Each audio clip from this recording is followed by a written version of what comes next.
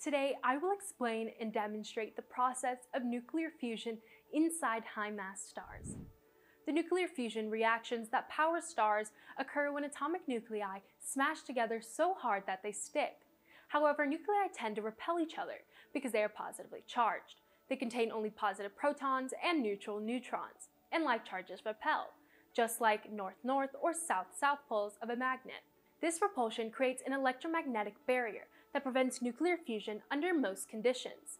Even at the high temperatures found deep in the cores of stars like our Sun, atomic nuclei don't have enough energy to crash through the electromagnetic barrier. Instead, they rely on quantum tunneling to sneak through the barrier into the region where the strong force dominates. In other words, quantum tunneling is what makes nuclear fusion possible in stars like our Sun, which means that life on Earth could not exist without it.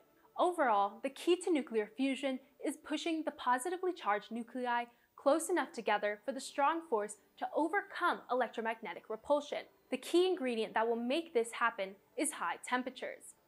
At high enough temperatures, a star's core can fuse heavier nuclei with one another.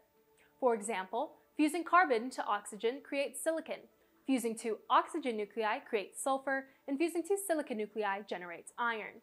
Some of these heavy element reactions release free neutrons, which may fuse with heavy nuclei to make rarer elements. The high temperatures inside stars are vital because the nuclei must collide at very high speeds if they are to come close enough together to fuse. Quantum tunneling is important to this process. Each time the core depletes the elements it is fusing, it shrinks and heats until it becomes hot enough for other fusion reactions. Meanwhile, a new type of shell fusion ignites between the core and the overlying shells. Near the end, the star's central region resembles the inside of a jawbreaker, with layer upon layer of shells fusing different elements. Now let's begin with the demonstration. In front of me, I have a tub of water with a ball in the center and an LED light. The water represents gravitational contraction, the strong force of gravity compacting the star's core.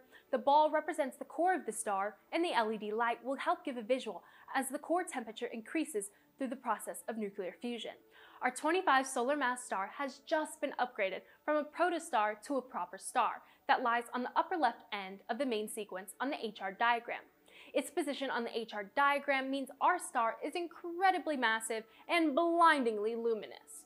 The core temperature has finally exceeded 10 million Kelvin, which means it is hot enough for hydrogen fusion to efficiently run through the CNO cycle.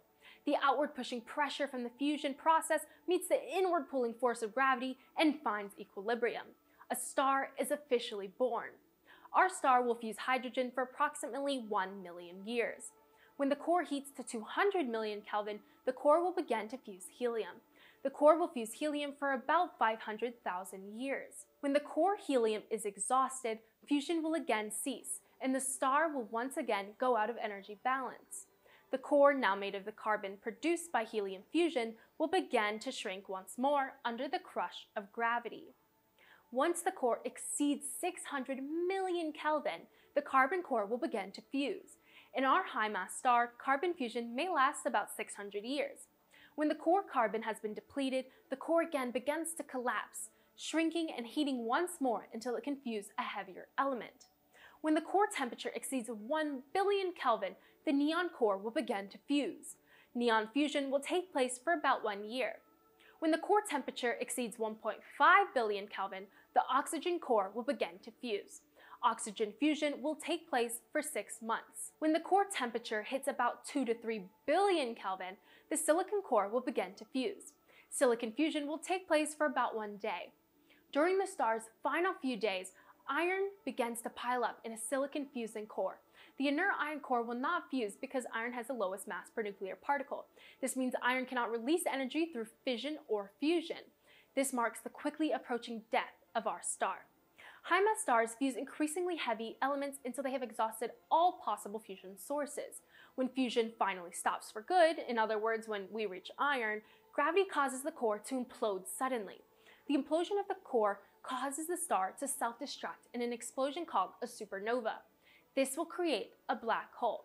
From the time our star was born and died, it only lived for about 6 million years, which is barely anything in the grand scheme of the universe. When it comes to high mass stars, always remember, they live fast and die young.